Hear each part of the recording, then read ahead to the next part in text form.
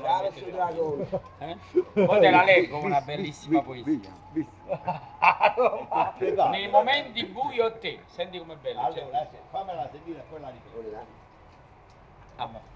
A Geppino e Anna Maria. Il culto dell'ospitalità e dell'amicizia ci accompagni sempre, con la serenità, salute e il resto lo mettete voi. Auguri Dragon marzo 2016. Senti quanto è bello questo, ne prendo una. Nei momenti bui e te, questa è proprio dedicata alla compagna. Poi te la leggo una bellissima poesia. Nei momenti bui o te, senti com'è bello. Allora, se- fammela sentire e poi la ripeto. A Geppino e Anna Maria. Il culto dell'ospitalità e dell'amicizia ci accompagni sempre, con la serenità, salute e il resto lo mettete voi.